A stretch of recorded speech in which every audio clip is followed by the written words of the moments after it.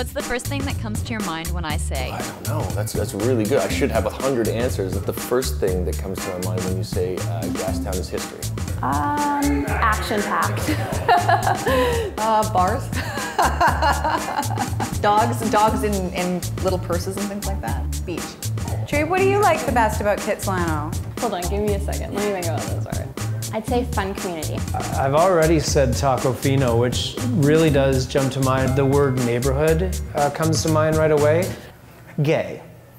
I'll be honest. Yep, that's the one. Just thought I'd throw that one in there.